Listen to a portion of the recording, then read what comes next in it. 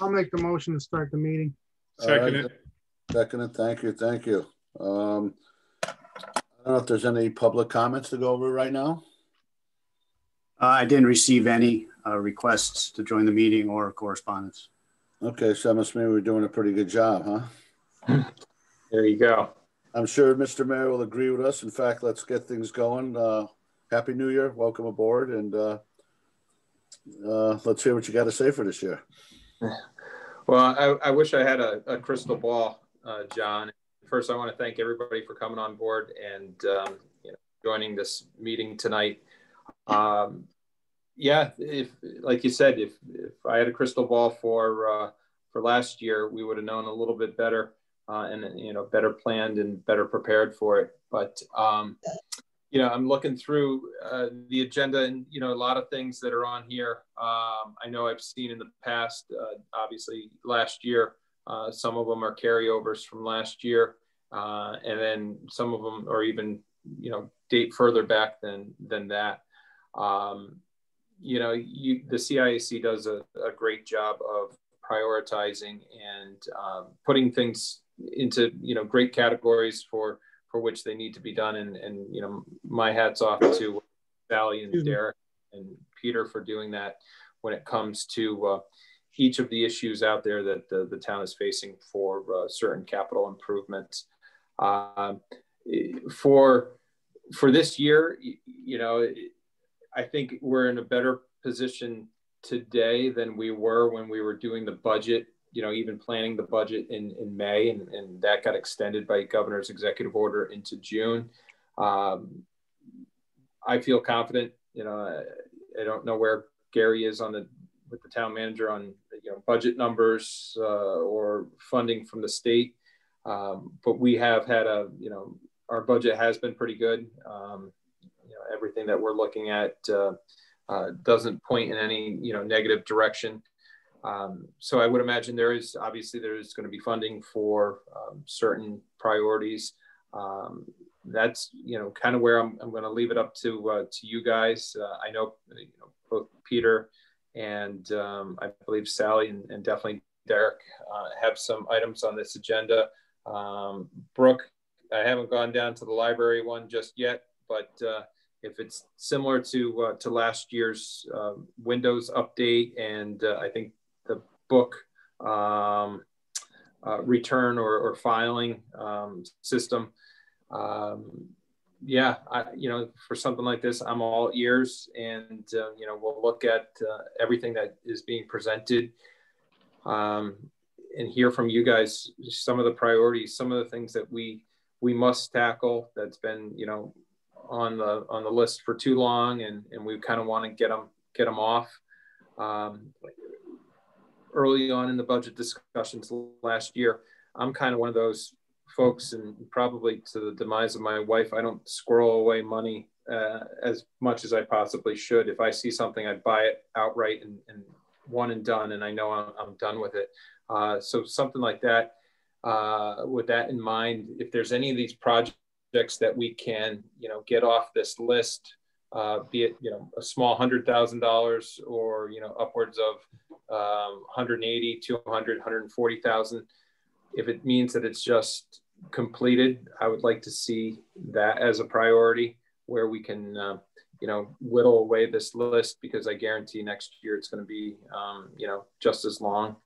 Um, you know, I don't have any real set priorities for this. You know, I, I, take direction from staff uh, as we all do uh, for for the priorities, but um, with keeping in mind that uh, you know if we can get some projects accomplished and, and done um, would be uh, you know kind of a priority for me.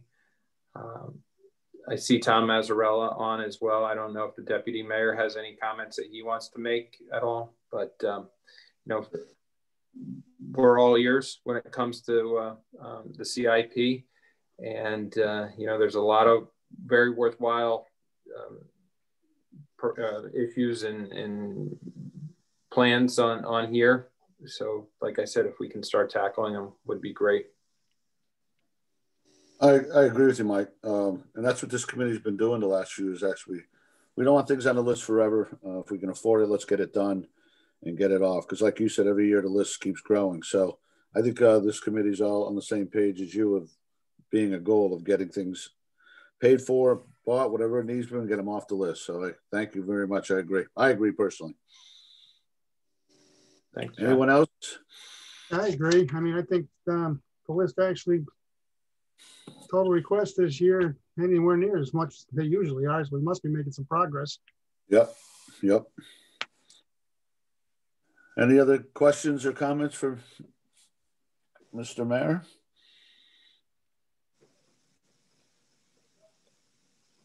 Good. All right. Well, thank you very much for coming. Yeah, yeah, I'll, I'll uh, stay on as long as I possibly can. I'm cooking dinner tonight. My wife's still at the hospital, but uh, um, I'll stay on as long as I possibly can and, and listen in. Make those peanut butter and jelly sandwiches for all of us tonight, will you? Believe it or not, kielbasa and pierogies. We're going. Uh, Polish. There you go. Excellent. hey, yeah, Mike, you like that, huh? Oh, yeah. Very good. It's right up my alley. Perfect. Well, I'll let you guys do it. You're in capable hands with some of the best staff in, in town hall to uh, to give direction. So um, I got the it. list right here in front of me, so I'll listen in. All right. righty. Derek, you want to get things going with the discussions of economic development needs? I'll turn that over to Peter. So Over to whenever you're ready, Peter. Okay, thank you, Derek. Thank you, Chairman. Um, for the record, uh, Peter Gillespie from the Planning and Economic Development uh, Office here at Town Hall. Uh, I have uh, two requests this year. I think last year um, I passed on uh, on any requests, so I think it was a zero year for our department last year. Um, so I've got two requests this year. The first is uh, fifty thousand dollars to contribute toward our facade improvement program. That's one of our longest standing programs in town, has been very successfully utilized by the business community. I believe you should have received in your packet uh, a PowerPoint um, presentation uh, that summarized the program and gave you some examples of projects that we've funded over the years. So I won't get into the details of that unless you have uh, any questions. But um, at this point in time, uh, we have approximately $55,000 left in the program.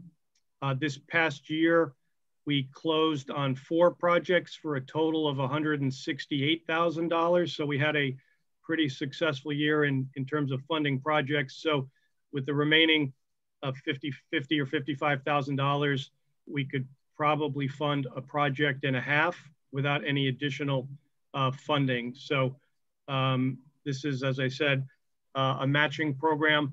Uh, any funding we put out has to be matched by private investment. Um, we estimate that for every dollar we put in, uh, there's a six or seven dollar return in terms of private investment in the community. So uh, we think it's a very uh, valuable uh, program, and uh, we would obviously love to continue to fund uh, the program. Historically, we've relied on the CIP funds, but we've also uh, relied on some state funds. The state funds have seemed um, are really starting to dry up. The STEAP program that we've relied on uh, was just changed this year. They used to provide uh, as much as $500,000 for each project. They've knocked that down all the way to $128,000 maximum for each project. So it's unlikely that we would um, get any additional state funding for the foreseeable future for the program. So hence the importance of um, the CIP program. If you, if you, do you have anything in the pipeline, Peter, where you could use more than 50 or is that you comfortable with that? Uh, we don't have any pending applications, but we Okay. have um, provided probably a half a dozen information packets to private property owners about the program. So folks have expressed interest and we've been Okay. telling them that it's a first come, first served basis. So uh, I do imagine that there are a couple of projects that would want the maximum, which is $50,000. And that would basically put us out of business um, Yep. until we get some additional funds. So Okay, uh, no- nothing uh, officially pending, but there's there's a great deal of interest in the program. So, for example, we're talking with the owner of the uh, former auction house gallery Yep. Uh, and obviously that needs some funding. And also we're talking with somebody about buying the Masonic building at the corner of uh, Church and Main. So those are certainly two projects that I think would be very worthy of funding in the program. But once again, remains to be seen if, if they come Okay. in with applications. All right. Once somebody starts the, the the request, how long does the process take before they actually receive their money? So we, we uh, require that they finish the project completely and then we refund them for expenses. So depending on a project and the size of the project, it could take, you know, six months to a year. Yep. It really depends on the project. But we, uh, it's a reimbursement program. So we won't, we won't give the money up front. Uh, we wait to the end of the project and they provide us with the documentation that they spent the money they indicated they would. We do put the money aside before the project starts so that it's there when they're done. Uh, and we commit the funds to the project, uh, but we don't give them the actual money. We don't close on it until the project project is completed. Okay, so you won't commit to anybody unless you have the money. Correct. Okay, And do, do they have to own the building or can they like sell it six months after they get this facade money? If they sell it, they have to pay us. Uh, if they sell it within five years, Yep. they have to pay us back on a prorated basis. Okay. All right. Perfect. So we have had a couple of projects uh, that they did sell within that time frame, and they had to pay us back what was left on the on the schedule. Okay.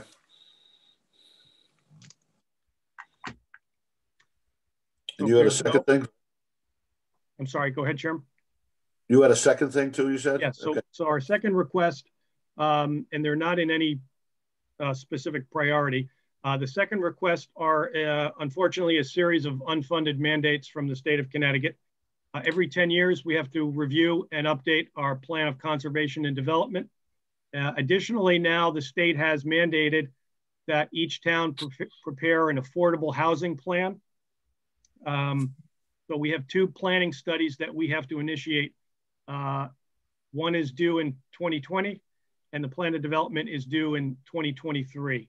Um, additionally, uh, the Economic Development Commission would like to review and update the Silas Deane Highway Master Plan that we did back in 2006.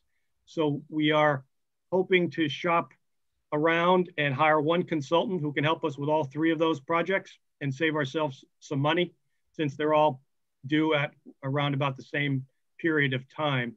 So we've asked for $100,000 uh, to do the plan of development, to do the affordable housing plan, and take a special look at the Silas Deane Highway uh, with a focus on what um, action items we should be pursuing to continue to revitalize the Silas Deane Highway. Um, so the planning process for the plan of development uh, takes about two years. By the time you uh, vet the consultants, you hire the consultants, we award the contract, and then the planning process last time around uh, took about a year and a half from the beginning to the end when we adopted the new plan of conservation and development.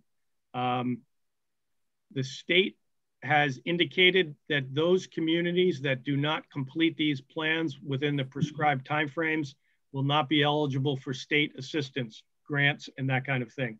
So uh, some folks have asked us, well, why don't we just push it out?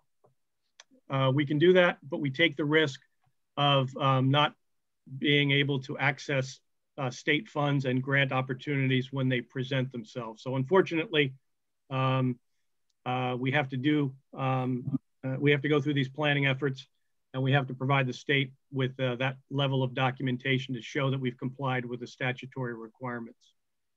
So we estimate, uh, unfortunately, uh, it could cost as much as $100,000 to do all three of those things. Um, if we did them separately and independently, it would probably be um, another $25,000 more.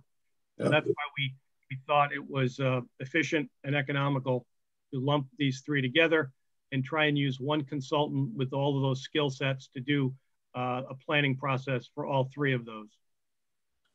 I agree with you on that. Um, when is the, when is it due, the program? Do you have to submit your application or your, So the, the affordable housing plan is due in uh, 2022. The plan of development is due in 2023. Uh, the Silas Deane Highway Plan is, is, does not have the same statutory requirements. We would do that probably in between both of those deadlines. So that hundred thousand, if you want, got some this year, next year in preparation of 22, 23, that would also work instead of, I- well, you're I- looking for the whole hundred thousand Well, now. the problem is I have to commit to a contract Yep, and I, Yep. I, without knowing that the additional funding is going to come in the following year, and then depending upon what the budget demands are that you guys are facing, uh, I, I, we have to figure that out legally, whether we can actually do that. Um, certainly we, we wouldn't spend the funds until the, you know, 2023, the final amount of it, but I legally, I wouldn't be sure if we could agree to a contract if we didn't have the funding uh, in place. So uh, we are going to look at ways that we can take on some of the workload in-house um, with, with existing staff. There's only two of us in the department, so we don't have a huge uh, a number of folks who can work on this kind of thing, but there may be ways that we can um, save a few bucks uh, by doing some of the work uh, with existing Yep. town staff. But um, Okay. so yeah, we'd have to we'd have to be mindful of our contractual abilities if we were to if we were to try and do it over two years. okay. Is that something that can be figured out over the next few weeks while this process is going on? Or is that something that's gonna take a while to figure out the legality of the contract issue? I can certainly talk to the town attorney in the next few weeks and, and see if there's a creative uh, way uh, of doing that. Um, it's probably ultimately dependent upon the contractor as well and how they uh, want to be compensated. Um, usually we pay them on a sort of a um, phase basis. You know, they do a certain amount of work, we'll pay them Yep. for that. You know, they do the following work and there's a deadline, we pay them for that. And then when the plan is adopted, you know, we pay them on the, on the, you know, the back end. So um, there might be an opportunity. I just, without, without talking to, you know, the finance director and the, and the town attorney, I probably couldn't answer that tonight. Okay, thank you. Sure. All right, any other questions? Well, thank you, Peter. Certainly. And thank you for your time and thank you for uh, volunteering for this, uh, this effort. It's a unenviable task for you. Thank you for your efforts too. Appreciate it very much. Thank you, Peter. All right, so we're on to our item E, discussion of library needs. And I imagine Brooke will be taking over that subject. Thank you. Hello? Hello? Hello. Um, so thank you all for your time. You are still my favorite committee, and that includes the library board. Martha Keneally joins us this evening. She's library board chair. Um, Realize I'm you act- said that with both your library board chair, the mayor and deputy mayor also on the line, right? yeah, yeah, absolutely. Okay. Come on, Brooke. too many governing bodies in the room. Um, the I am actually not asking for any money this year, but I want to quickly update on uh, our various projects. Um, you have documentation you received um, from Derek um, for two of the projects, and one is the library redesign, um, repurposing three spaces, um, and that's an over one million dollar project. And um, better minds than mine can figure out how the best way I would think would be to have that become part of a larger bond initiative at some point in the future. I don't know if that's possible, but that's uh, that's one project. Um, another project you have documentation on that you received from Derek is about our RFID um, upgrade. So this current fiscal year, uh, you guys put aside about $8,000 for our Windows 10 upgrade. Um, we are in the process of getting that done. The goal is to have that done by the end of um, this fiscal year. Um, and I'm spending a lot of time arguing with the vendor about why am I spending $8,000 for something that should only be $2,000. Um, but you know, we'll, we'll see how that goes. Um, and the pandemic has set us back on that. Um, other aspects of that particular project um, include the check-in that you could have a machine check-in and just drop into a bin. Um, and I, you could eliminate uh, a handful of staff for, that um, if we had that portion. Um, and I want to also bid out to a different vendor. So you have bid documents from a couple of years ago um, with pricing, but I want to also go to another vendor. And the Rocky Hill Library is in the process of potentially using a different vendor for this. So I'm waiting to see the results of when they complete their project as well. So those are uh, two of our projects. Um, there are two projects also in the lower level of our building. One is the reflooring, uh, either carpeting in some areas, and uh, is it VCT tile, Sally? Just nod your head. Yeah.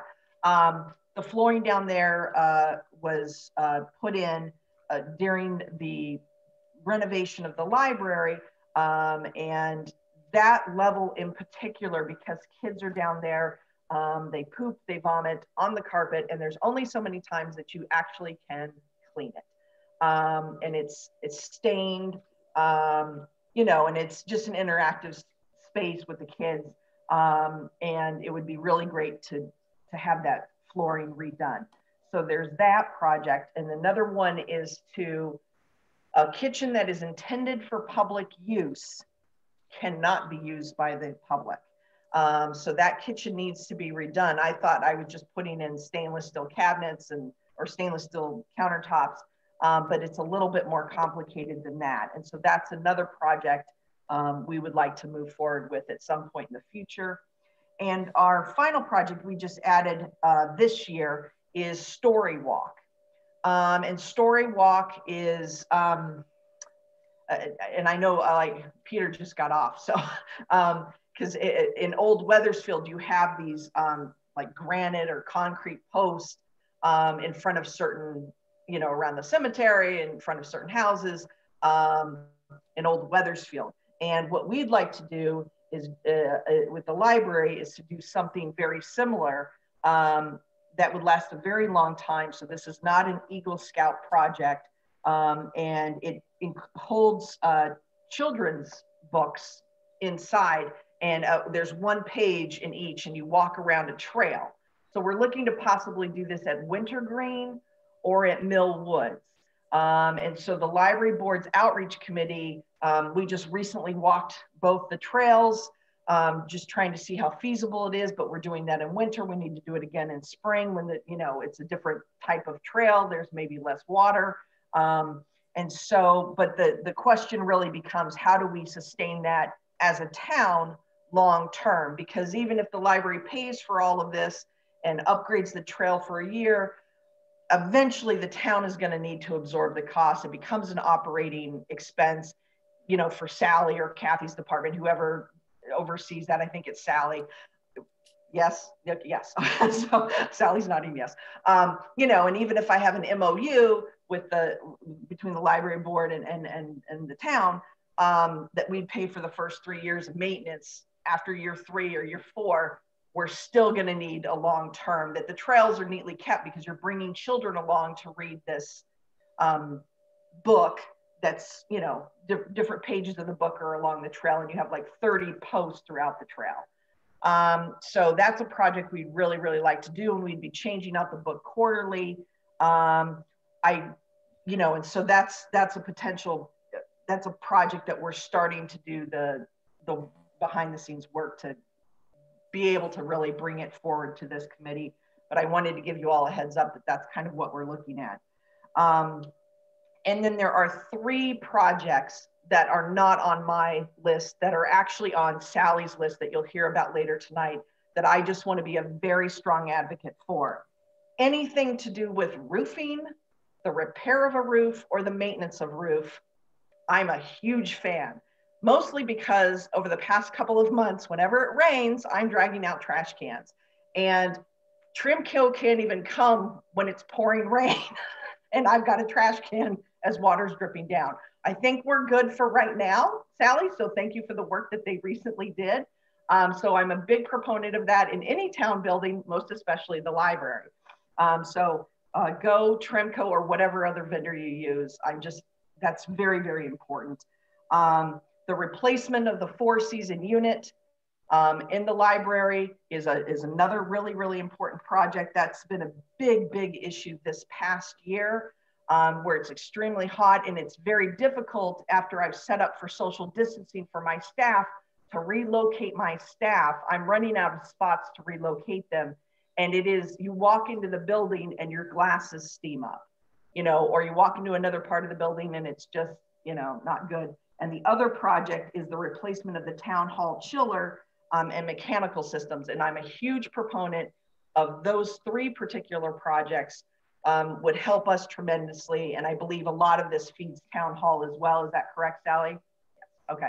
Um, so, you know, if I could make a plug for those three projects just from, you know, being the client of Sally, who's like, oh my gosh, um, you know, that, that would be really huge and important. So um, those, that's all I really wanted to say. We're not asking for any money this year.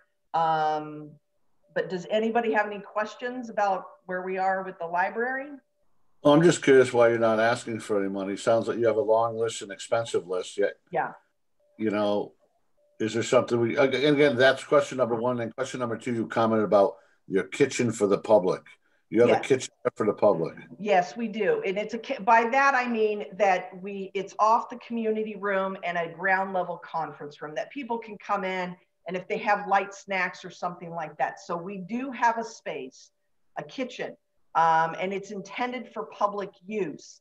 It's just, it's not vented properly. There's really, I, I don't, I, I think the intention was to have it for public use and they didn't make it for public use. The countertops yeah. are just unsanitary.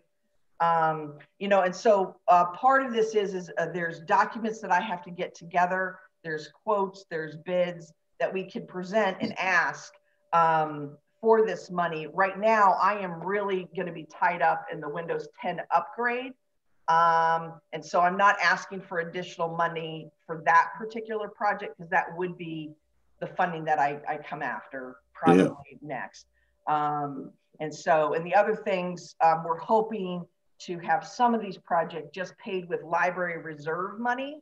And perhaps not come to this committee depending on the cost if, if we have money in reserve that we can utilize for some of these projects um, and actually not come to the committee.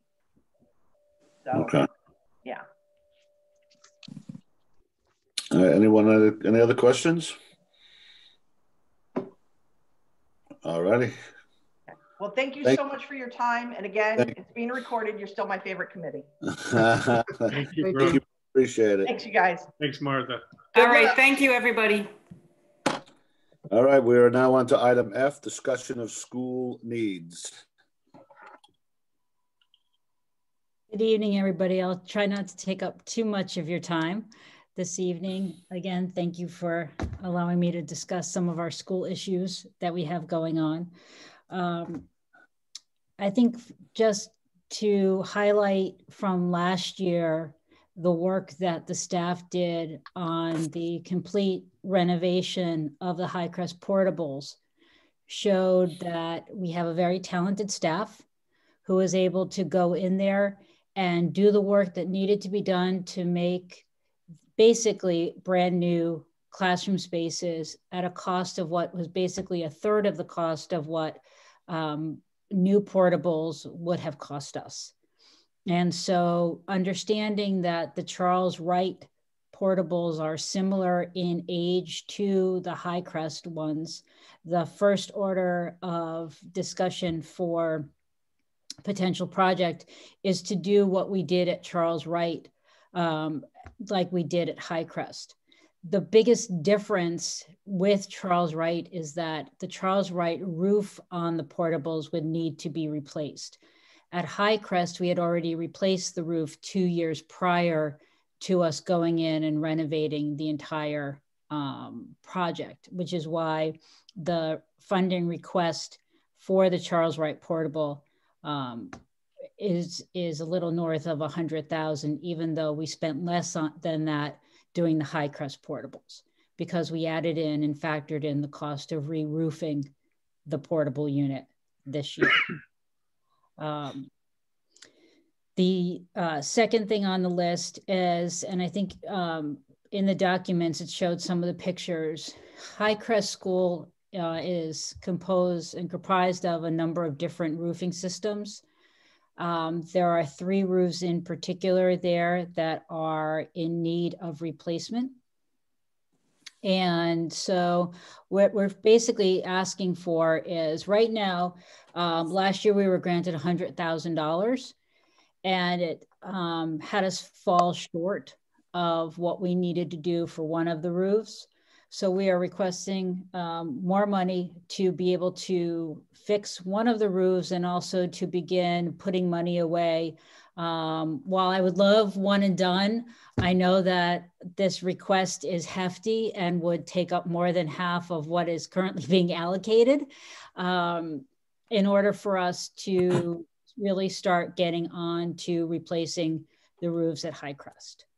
Sally, not to interrupt you. I thought last year we went over this and, we, and you showed us different sections of Highcrest and we gave Yes. you money to do one section and then with anticipation, we'll do Yes. seconds, thirds and fourth. Did you do that one section last year? we were unable to do that one section because as we moved to, and as the money became available, COVID had already hit.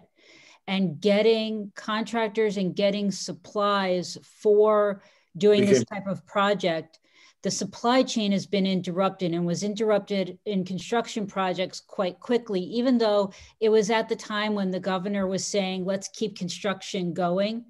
Construction products shot up in cost. Okay. And now we're in the middle of a supply line interruption. Um, I don't know if you've seen recent articles, and they're talking about everything from appliances to furniture to construction materials.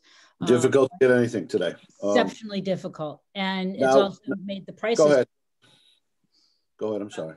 So, uh, but we do want to uh, really aggressively go after bidding out that roofing project.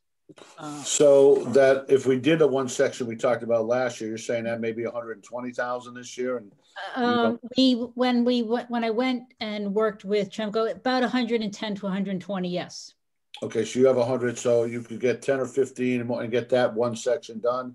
And then we can straight on another section. Yes, if you. What, what Um, are you looking for then? What's the next most important section of the roof you want to do?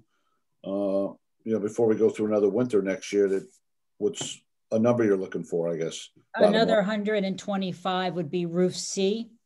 Okay, roof C, Yeah. Yep.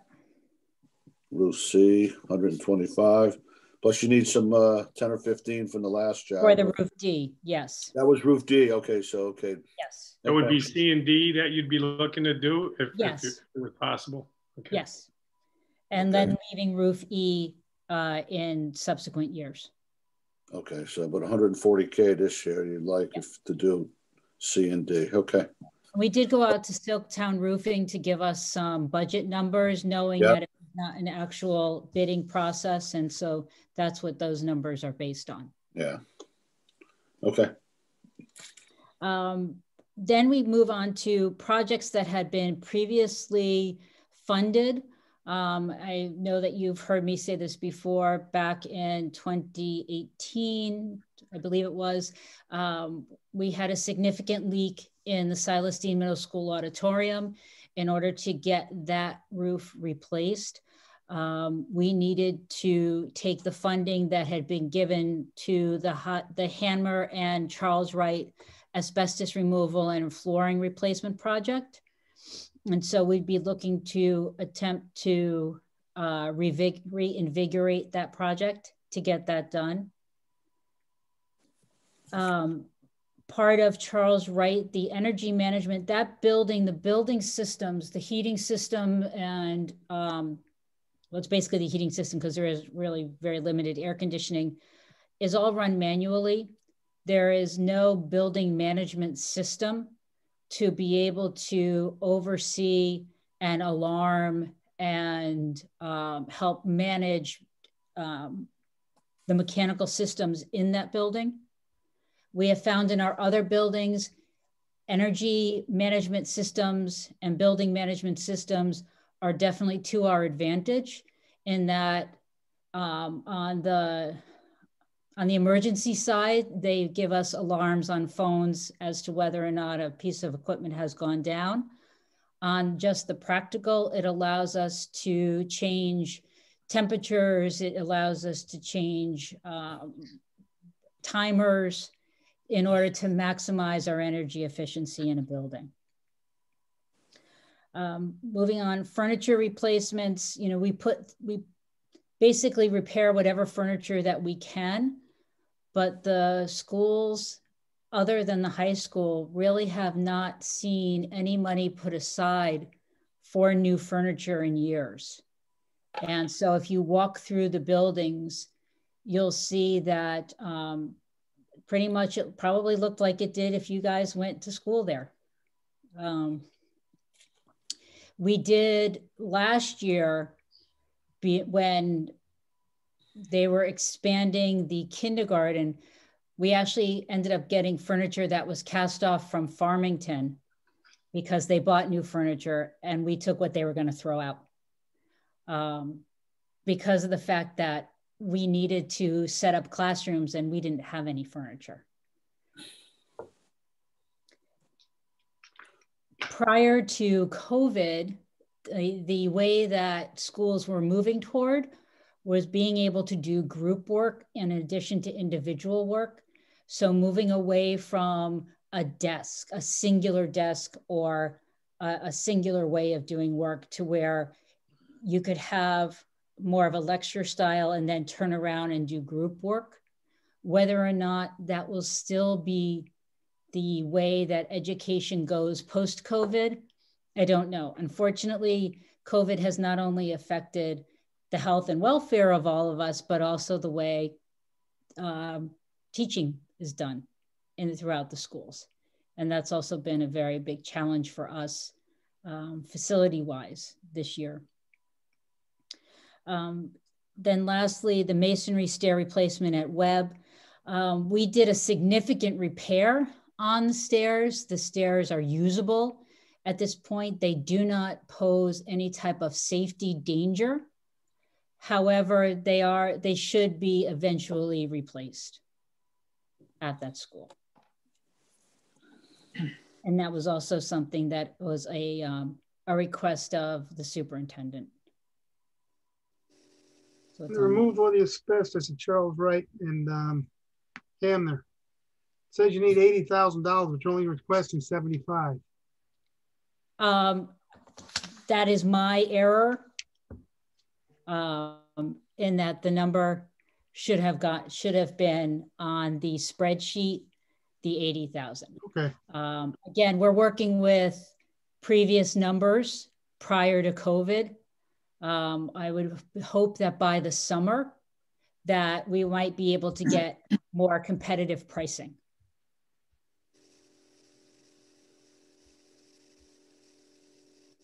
All right. Anything else? Any questions? I will say that the schools have really been challenged this year with COVID. Absolutely. Sally, I applaud your efforts because last year when I going over the uh, outside with the school, uh, the little mini buildings, I'm drawing a blank on the name of them. The portables. Portables. I'm happy instead of going new, you went the route you went because you know, I did a little research on it. I, I know you could have gone that route. And I'm happy to hear that you went that route and saved the, the town a, a good chunk of money. So yeah. I appreciate that effort. Uh, the leak at Silas Deane, I mean, it's leaking. Is it bad? Is it obviously in I mean, obviously, we don't want to leaks, anything leaking in any of our buildings, but how bad is that leak? The leak at Highcrest? Or at Highcrest, I'm sorry, yeah. Oh, um, they're pretty significant. Um, okay. We, Tremco actually is a very good response there. Um, yep. Water is insidious. You know, once it gets in, it, it finds its way. We are, I'm going to say, knock on wood, ahead of it right now. Okay, good. But for how long you know, the clock's ticking. Yep. Kind of thing. Okay. Sally, uh, quick question. Quick question on the portables at uh, at Charles Wright, the roof. Mm-hmm. Now, with the with the roof and the renovation inside, would that all be done by by you guys, or are you looking at subbing the roof out? We would we would have Tremco do the roof like they did before um, at the ones at Highcrest. The ones at Highcrest, when they did them, they were not terrifically expensive. Uh, and so because they will also warranty the work, because they're on a state contract, they do a significant amount of work around the state. It is their their line of business. We would go with a roofing contractor. It's mostly about the warranties too. Okay, thanks. This is Christine. May I ask a question? Christine. Hey, how are you? um, so I certainly understand the need for the asbestos removal. Um, can I ask about the um, BMS uh, system that you're talking about?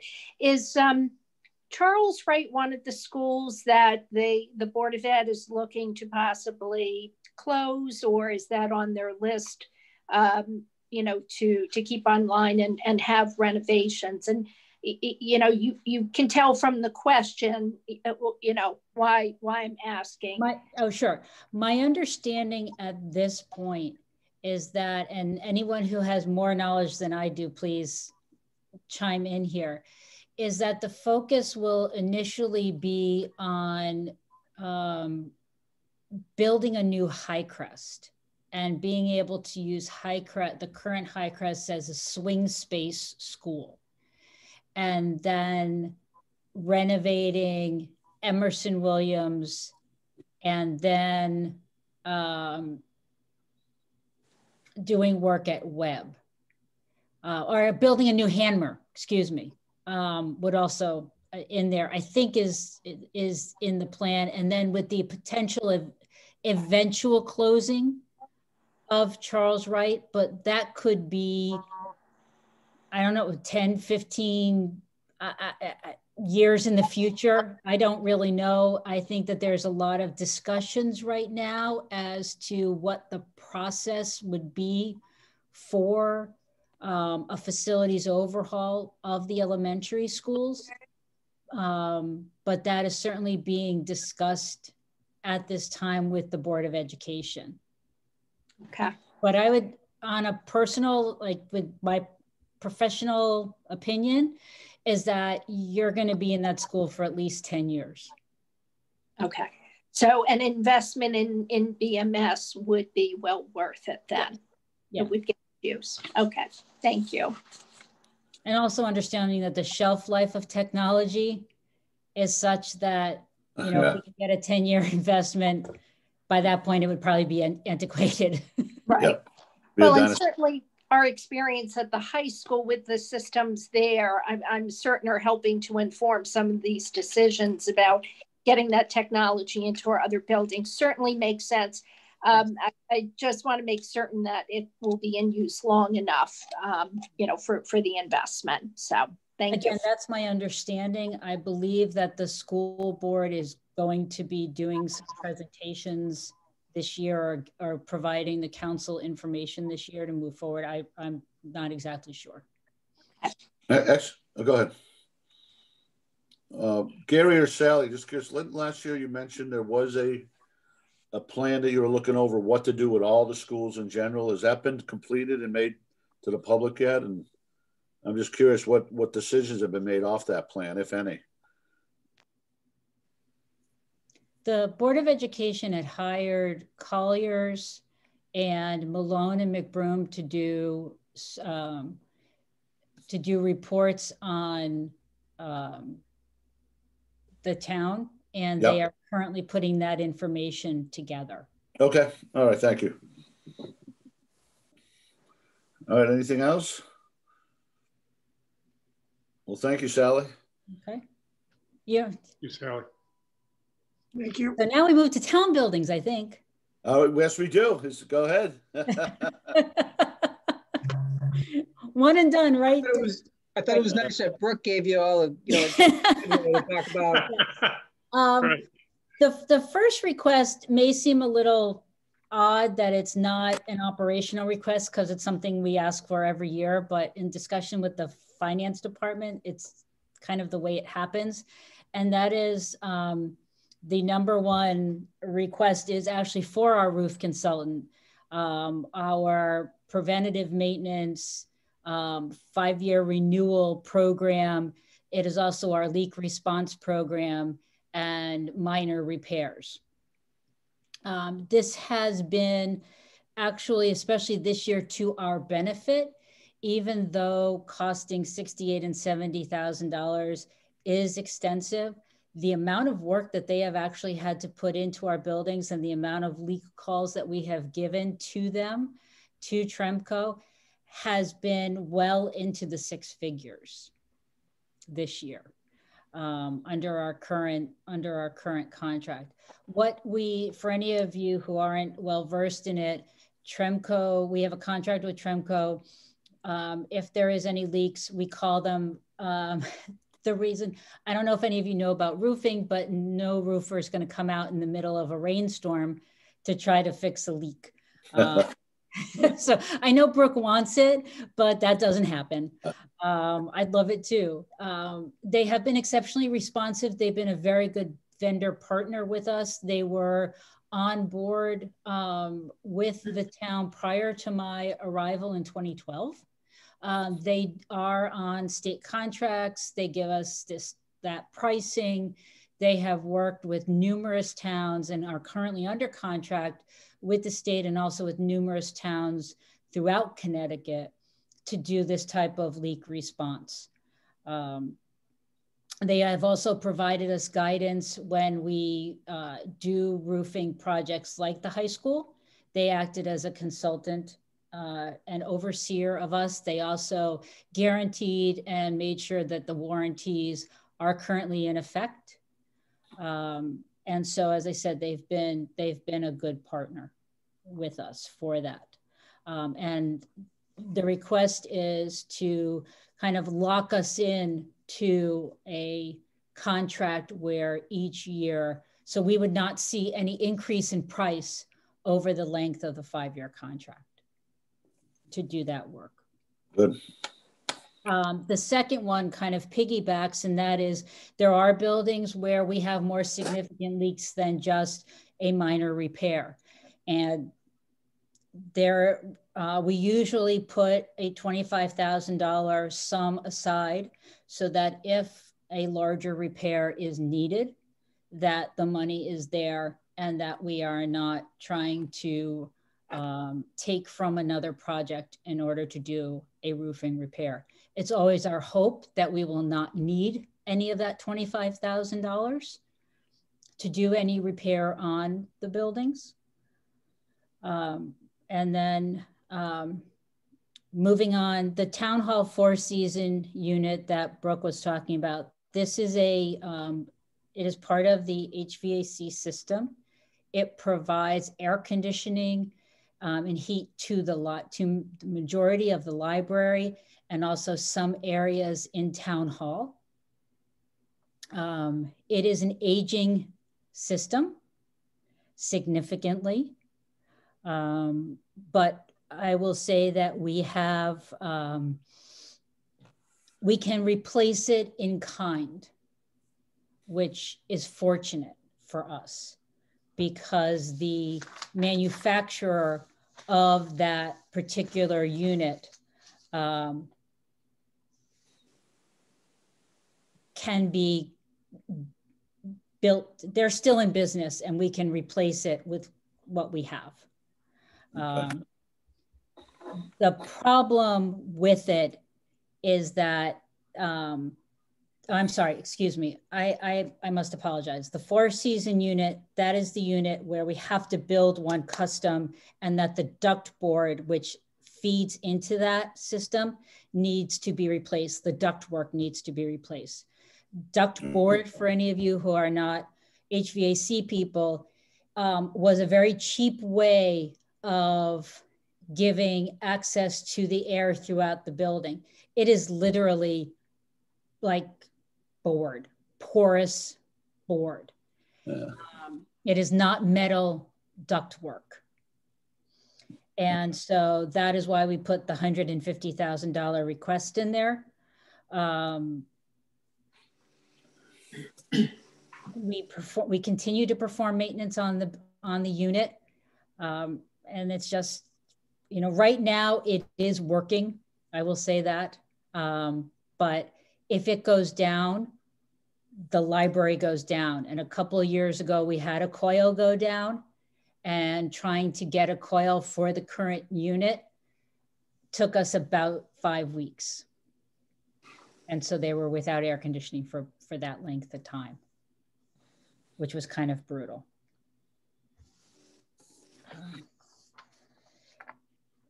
The fourth request is a little is the Keeney. Um, the Keeney Center is interesting in that even though it is a town-owned building, up until a couple of years ago, the town really did not maintain the systems in that building.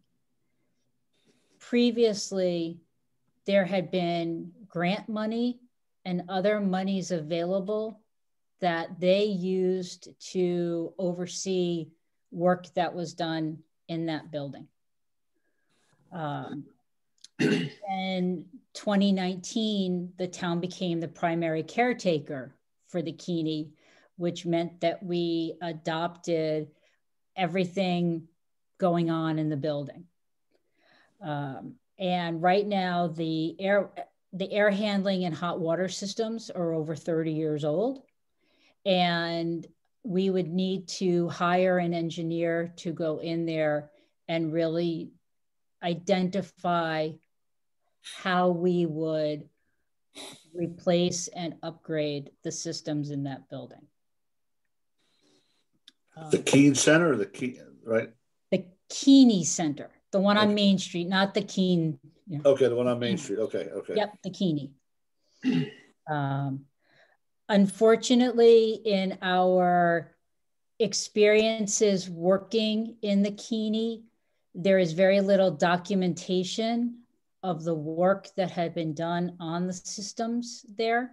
So when we go in, we're not only trying to fix a problem, but we also are investigating how that how the systems are interconnected because there's very little documentation on that building.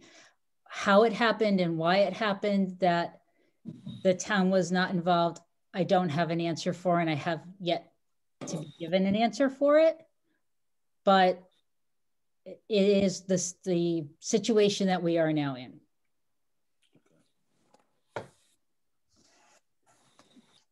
So what we would like to do is get money to hire an engineering firm to be able to go in, fully investigate the building, and then be able to write a report on the systems and what um, a schedule for replacement.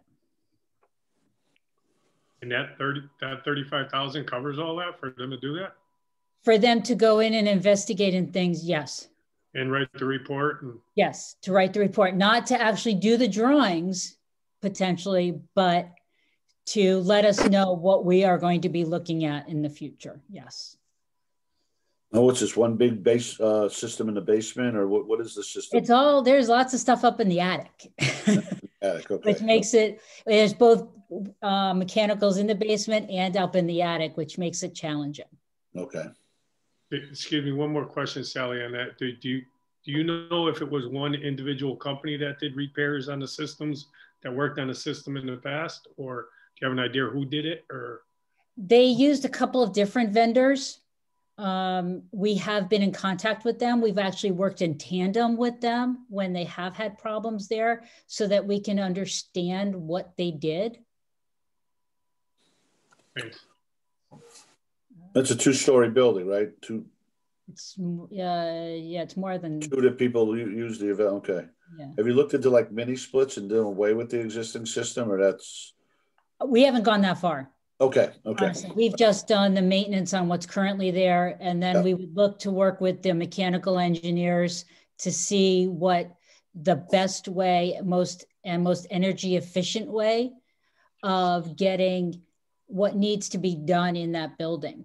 Um, it's a big building, and part yep. of the part of the challenge in that building is the lighting systems in that building generate a lot of heat. So we have to the, the calculations, and I'm not an engineer, but the calculations for that, um, you know, maybe it's incorporating. I know that they've done work changing over to some LED lighting, which would help but all of that would play into figuring out the size of the equipment and that would be needed. Okay. All right, thank you. Separately from that would then be, again, a phased project of the air handler and hot water units at Keeney. Um, Okay. Put this in, but understanding that that would be most likely a second, a second phase to that. Um, Town hall chiller, um, at this point, you know, the town hall chiller and, um, has not, was not replaced during the renovation. Uh, and so it, the current chiller cools town hall and certain parts of the library that the four season unit does not. This is the unit that is a one for one swap. Um, and again, I apologize from my earlier comment. This is the one that um, the company that makes that made the current system is still in business and we could swap out a new unit for the unit that we have without having to change any ductwork Wow. in the building. What's the cost of that? That one's large. That's a $200,000 project because of the size of the chiller that is needed in order to. And I will say that thankfully, a couple of years ago, this committee gave us funding to change out the cooling tower in the library. So, okay, yep, okay. Yes, which is part of that system. And that was, yeah, yeah, the cooling tower is in the, is housed in the library, but provides the chilled water to the system. And lastly, um, pretty much any of these can be kind of moved around, um, but we would be looking to replace the roof and restoration of the cupola at Old Academy. Um, that's a cedar shingle roof, and the cupola would need to be completely restored by a company that specializes in restoration. Um, the bell was already taken out of the cupola, so part of the restoration and rebuilding of it would be to replace the bell. Um, but it is a, an architectural feature of the building and part of Old Wethersfield. So um, it's the restoration and or rebuilding of the cupola and the copper um, of that that would be the driver of the costs. Is it possible to look at changing it? Probably. I don't know if the historic district commission would be in favor of that. I doubt it. So we put the price in as if we were doing it with the same materials, but those materials are very expensive. Okay. Which is why it's number seven and not higher up on my list. Could, could I ask, this is Christine, on, on that particular building, it, that's a town-owned building. There's no organizations that have any use, uh, you know, the Daughters of uh, American Revolution, Historical Society, any of these groups. Uh, and, and I'm asking because is there an opportunity to do a, a shared, you know, fundraising campaign Right. uh, to to renovate and restore?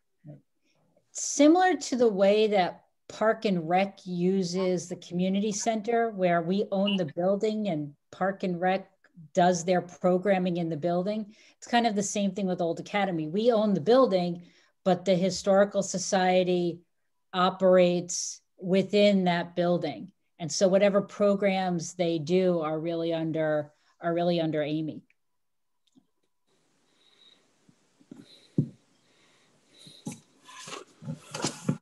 Anything else? Well, if I could just follow up on that, and maybe you know the town manager could could chime in. Um, you know, it is that there a possibility that uh, we could work with uh, another group um, on on a campaign, particularly if they want to restore uh, the you know the the bell and you know to its um, just restore the building to to its original state, if you will. Um, is, is that something that's possible? Have there been any conversations? Um, th there was when I was on council years ago. That, that's why I asked the question. Yeah, and Sally, you can chime in. I'm, I'm not aware of any conversations on doing that. I certainly have would have no issue with trying to solicit. I guess it wouldn't be a public-private partnership at that point. It would probably be a public-public. I'm, I'm assuming it'd be a nonprofit group or something. Um, you know, we can always look at potential of grants uh, to fill it in if we qualify um, to see what we do. The problem is a lot of those come with certain requirements and we might want to be careful with what some of those requirements are uh, or conditions um, are related. The last time we looked at grants for certain projects, there really wasn't anything available. Um, we put this on the list because from a maintenance standpoint, it was important to us. We have not gotten, um, this has not been a big push from the Historical Society or their executive director or, or governing board as a significant issue. Um, we were bringing it as a, as a maintenance issue.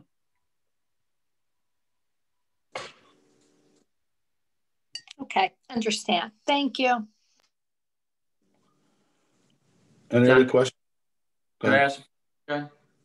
Uh, Sally, on back on the Tremco roofing uh, work, mm -hmm.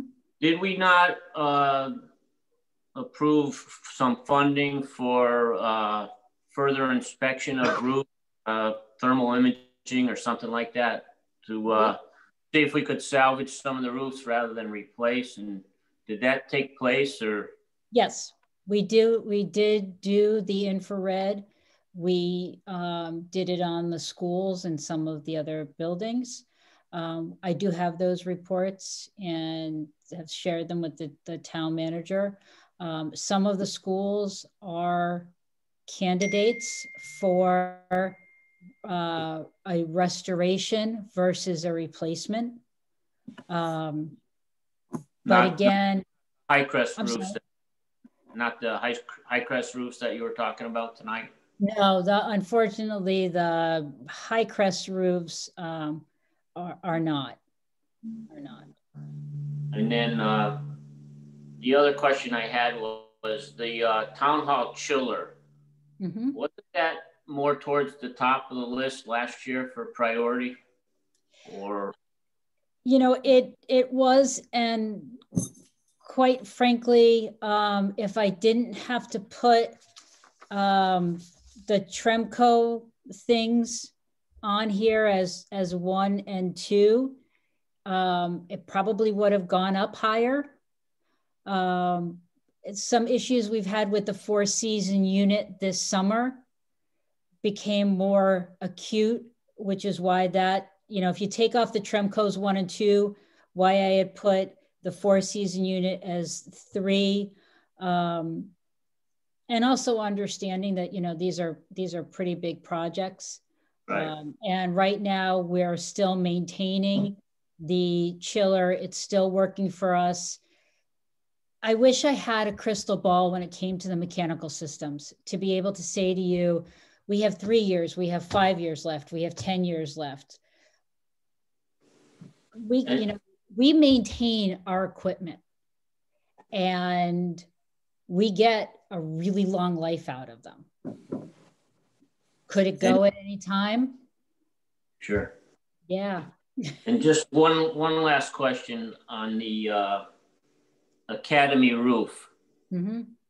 Does Tremco have that listed as, um, you know, requiring replacement immediately? Is it leaking? It's currently um, not leaking. Okay. Um, it does have a, um, the cupola is in kind of their red section.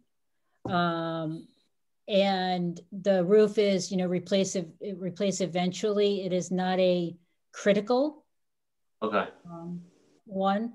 Unfortunately, I think that with that building, and as you are well versed, we'll run into the same issue with the HDC as we did before, right. where they're going to want it in cedar. I just want to put my plug in for supporting roof work. We we need to stop water infiltrating into the buildings. We're gonna we're gonna lose buildings if we let that. Happen. I will I will also yep. say, and and it might be a bigger um, issue. So Gary, I apologize if I'm overstepping here.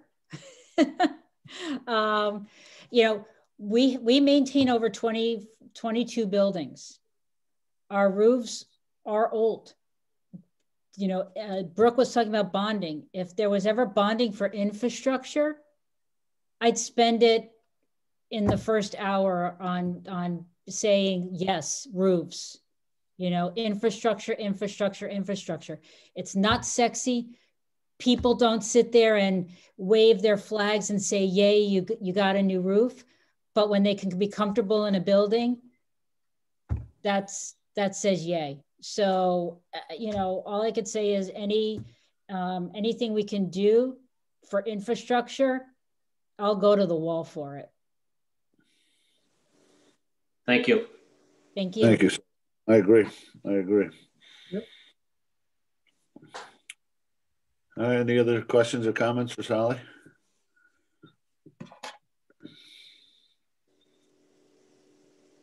All right. Well, thank you.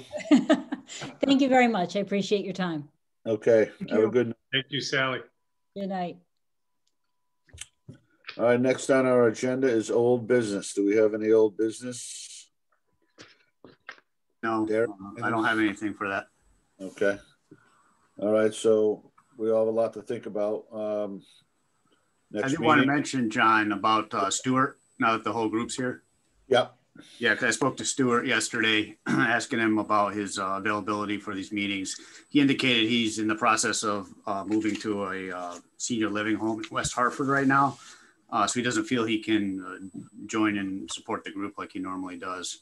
Okay. Uh, so he just asked me to convey that to the to everyone and just say he you know enjoyed his time working with you on these projects and um, you know at this point just doesn't feel he, he can continue. All right. Thank you. All right, so we're on for our next meeting next uh, Wednesday, 5 p.m. Everyone. Yep. I just have one thing for next next week. I'll probably can attend about the first 45 minutes of the meeting. Then I'm, I'm going to have to sign off. All right, that's fine. Uh, we're going to start going over everything, I presume, next week. Derek? Next week we have some more presentations. Oh, we do. Okay. Okay. Yeah, fire fire department, parks and recs, uh, park and rec, and myself with uh, drainage, uh, pavement maintenance, and sidewalks. Okay. Yeah, you know, one comment that uh, with Brooke and all the stuff she's going to be looking for. Didn't we talk about last year about taking seven or eight large projects like the library and town hall, this and that, and just doing it all? I mean, I know you said you right now at the high school. I don't know your situation on borrowing more money? Do you want to? But you know, some of these projects are so expensive, so big that you know, if we couple them all together and spend X amount of dollars to get everything done, is that something that a way we could go? It's just not feasible at this point.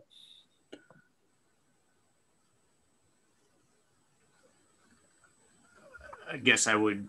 I don't know where those conversations went. Um, yeah, it was brought up last year as a way of trying to get the work done. So I would I would defer yeah, okay. to Mayor. Now, did I did, did I miss out on Mike? Did he give us a number that we could spend this year, or just? I didn't. No, I'm sorry. Okay. okay. Um, where were we at? 1.9 million last year. We had two numbers. We, we did 900,000 for the base recommendations, and then we what we've done the last couple years is give you an extra hundred thousand if it was available on oh, right. the next priorities beyond the nine hundred thousand. Okay. Okay. All right. Good. All right. That's uh, that's our goal again this year. Nine hundred and a million. Yep, I think it is. Yep. Okay. All right. Does anyone else have any comments? Any other questions? Derek, thanks for helping me with the uh, technology side of this uh, meeting. So I appreciate it. You look like a pro, uh, John. Uh, all right. Would anyone like to make a motion about adjourn, adjourning this meeting? A motion for adjournment. All right. Second. Thank you. All right, everyone. Have a good night, and we'll talk to you next week. Good evening. See you next week. I'll, I'll, I'll send out uh, the packets as soon as I can for the next round, so you can take a look at those before the meeting. Beautiful. Beautiful. Thank you. Thank you very much, Art. And if anyone needs a hard copy, just let me know. I probably will need a hard copy, Terry. I expected that, Mike. Thanks. Yeah, have a, have a good night, everyone. Good night. Take care. Hey, everyone. Good night. Take care, everyone.